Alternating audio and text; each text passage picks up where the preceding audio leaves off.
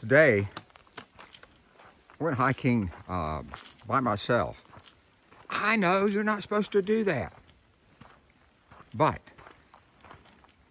my hiking guys, because of the rain, they said, well, they thought it was raining too much. Well, it's not right here.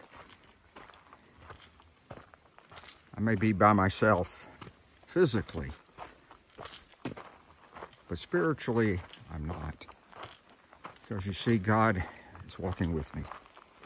Does that mean that something could hap not happen? Something could happen. Yes, a bear could come across.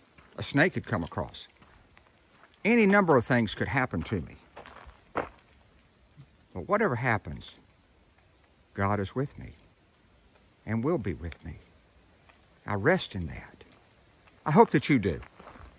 And remember that when we are walking by ourselves when we think we're by ourselves. We're really not because God's with us all the time. Remember, just when I need him, Jesus is near. Just when I need him, Jesus is near. Watching and waiting until I call just when I need him most. Be well, be safe. Go in God's peace. Amen.